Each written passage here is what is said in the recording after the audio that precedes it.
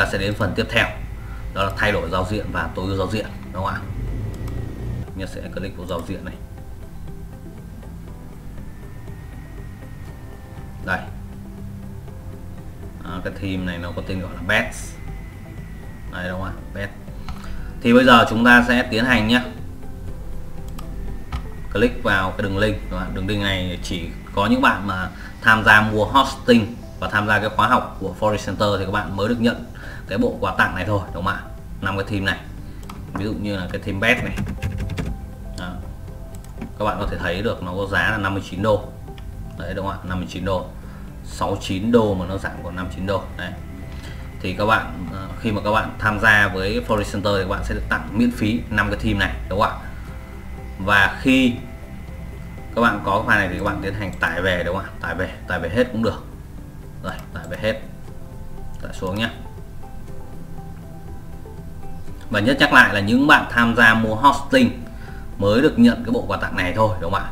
Thông thường thì các bạn sẽ được nhận cái uh, file để chúng ta nhân bản. Tuy nhiên để giúp cho các bạn có cái uh, kỹ năng làm website tốt hơn thì chúng tôi sẽ dừng cái chương trình đấy lại và sẽ hướng dẫn bạn một cách chi tiết làm một cái website từ các bước như các bạn đã biết ở những cái video trước đúng không ạ? Là cài plugin này tối ưu web như thế nào này và cài À, theme như thế nào ở cái video này thì chúng tôi sẽ hướng dẫn cho các bạn.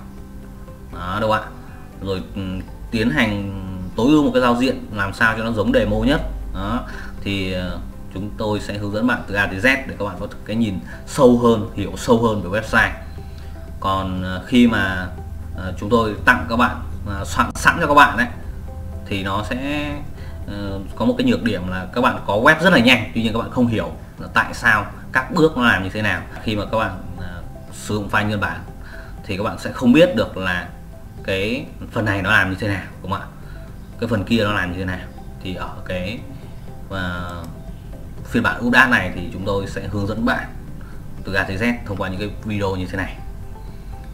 Còn đâu nếu như các bạn sử dụng file nguyên bản thì các bạn hoàn toàn đâu có biết đâu ạ?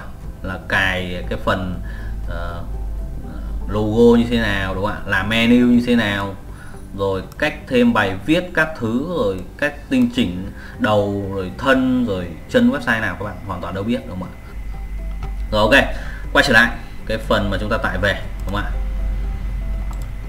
Tải lại nhé rồi chúng ta sẽ tiến hành giải nén đi. Check đúng không ạ? Rồi ở đây thì uh, nhất sẽ tiến hành cài cái phần Martin Shop Best này đúng không ạ? Rồi chúng ta quay trở lại website rồi tạm thời nhất tắt đi nhá. Ok, tắt. Tắt cái này đi. Rồi, quay trở lại website của ta thì chúng ta click vô cái phần giao diện. Rồi, ở đây thì các bạn click vô, thế mới đâu ạ, thế mới. Rồi, click vô tải giao diện lên. Click vô just file. Rồi, quay trở lại cái thư mục chúng ta tải về, chúng ta click vào best. Ở đây chúng ta có sẽ có 5 theme này có những cái theme về bán hàng, đúng không ạ? Về blog tất cả mọi thứ. Ở đây thì à, cái blog nó cũng giống như website bán hàng thôi, đúng không ạ? Nó sẽ có một cái điểm khác là website bán hàng nó có chức năng bán hàng, còn blog thì không, đúng không ạ? Tuy nhiên blog chúng ta có thể sử dụng cái bán hàng cũng được, đúng không ạ? Chúng ta có thể sử dụng cái phiên bản à, bán hàng, cái website bán hàng để làm blog được, bình thường mà, đúng không ạ? Rồi, chúng ta click vào cài đặt nhé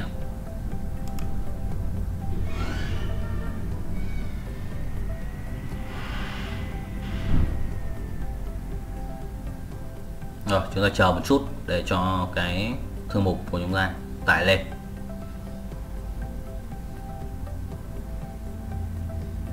Rồi các bạn click vào kích hoạt.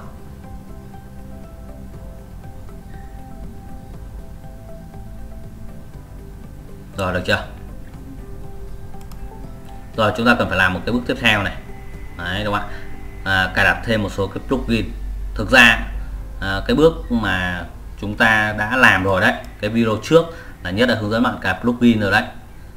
Tuy nhiên để có thể tối ưu được cái theme này thì chúng ta cài một số cái plugin mà nó đề xuất ở đây đúng không ạ? Thì các bạn click vào. Rồi các bạn click vào hành động install đúng không ạ? Áp dụng. À, chúng ta cài đặt cài đặt nó. Cái này thì nó yêu cầu cài thi thêm đúng không ạ? Cài thêm một số cái plugin để cho cái website của chúng ta có thể hoạt động tốt và có nhiều cái tính năng của cái theme này thì chúng ta cần phải cài những cái plugin mà họ đề xuất ở đây. Rồi chúng ta quay trở lại và chúng ta activate nó lên nhé click vô này để activate lên này. Hành động, đúng không ạ? Activate lên. Rồi, ok, rất là nhanh. Xong rồi đấy. Rồi, cái bước tiếp theo nữa là chúng ta sẽ tiến hành thiết lập, đúng không ạ? Thiết lập cái phần à, đầu website này.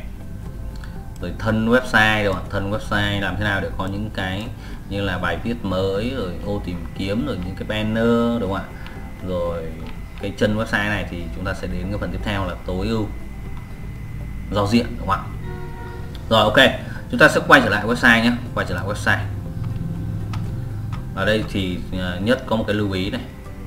Có một cái lưu ý dành cho các bạn này. Thì các bạn vui lòng đọc cái lưu ý này.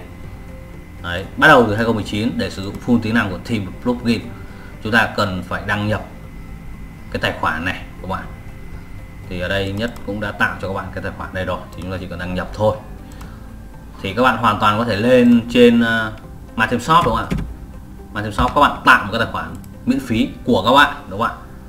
Đây này các bạn tạo một cái tài khoản miễn phí của các bạn và các bạn sử dụng cái tài khoản đấy để các bạn tiến hành đăng nhập vào connect vào đúng không ạ? Đấy, nếu như chưa có thì chúng ta đăng ký thôi đúng không ạ? Ở đâu đây là cái tài khoản mà nhất đã tạo sẵn thì chúng ta đừng có đổi nhá đừng có đổi pass đừng có uh, nếu như các bạn sử dụng cái này thì các bạn đừng có đổi gì hết để cho những các bạn sau có, có thể xài được. Những cái cách tốt nhất thì các bạn nên tạo một cái tài khoản nó cực kỳ dễ thôi đúng không ạ? Đăng ký này nó bao gồm email password này. Đấy, chúng ta đăng ký Đấy, đăng ký thôi. Đăng ký để chúng ta tiến hành đăng nhập vào đúng không ạ? Thì bây giờ nhất sẽ sử dụng cái phần này đúng không ạ? Cái phần này. User với lại password này. À, lưu ý nha các bạn đừng có đổi nhá. Rồi chúng ta chỉ cần connect vào để sử dụng full tính năng thôi mà. Rồi bây giờ chúng ta sẽ tiến hành click vào cái phần giao diện này. My theme option này. Theme option đúng không ạ? À, thì nó yêu cầu connect này. Thì chúng ta connect now đúng không ạ? Đơn giản. Rồi bây giờ copy. Đầu tiên là user đúng không ạ?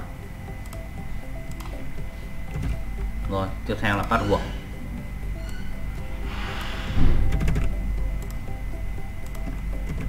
Các bạn lưu ý nha các bạn có thể tạo cái tài khoản riêng của bạn ở trên đây đúng không ạ để các bạn lấy thông tin uh, user và password để các bạn điền vào.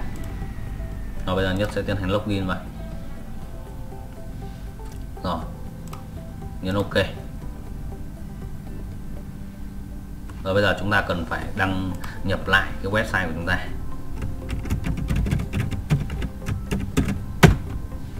Đấy, như vậy là chúng ta đã cài đặt giao diện thành công rồi đấy đúng không ạ? Rồi bây giờ chúng ta có thể tùy tùy chỉnh được ở bên trong này.